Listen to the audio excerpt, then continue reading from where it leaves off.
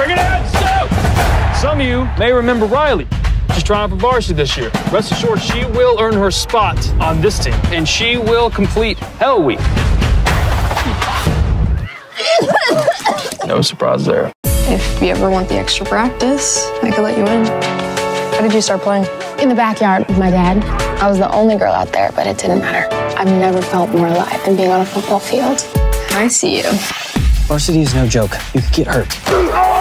You enjoy my message, soft hands? Do not sabotage my championship! It's not like me quitting football wasn't your idea. I can't keep up this charade. People are gonna tell you what they think you should do your whole life. Follow your heart. I'm here for it.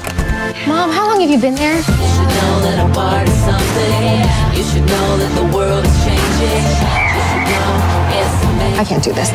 I have your back. The whole team does. Our whole season comes down to this one game. Riley is the first woman football player in Parkview's 100 year history.